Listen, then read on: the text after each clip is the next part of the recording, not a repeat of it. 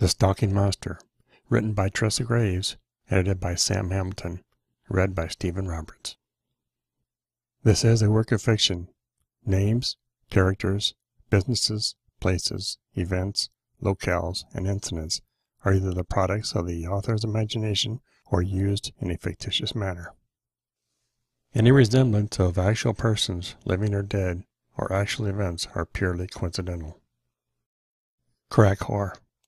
Rod sat in the corner of his makeshift office, cluttered with an assortment of alcohol bottles, crack pipes, porn, small white rocks, all laying in wait of his pleasure.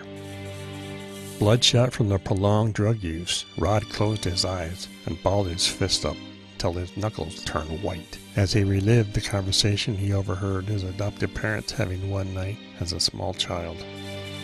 Their bedroom door was closed and locked, but the argument over the flawed human being living in their home was easily overheard. Give him a chance, Brittany blurted out to her husband. No, there's something wrong with the boy. His own mother didn't even want him. Even she could see what he was to become, Ben asserted as he paused and looked upward, rubbing his head before continuing. She was a druggie and a prostitute who walked the streets. She told us herself she picked up a John for drug money. He was conceived by her fucking for drug money. Hell, Brittany, she did drugs her entire pregnancy.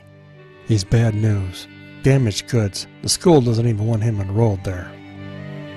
What the fuck were we thinking? Were we that desperate for a child?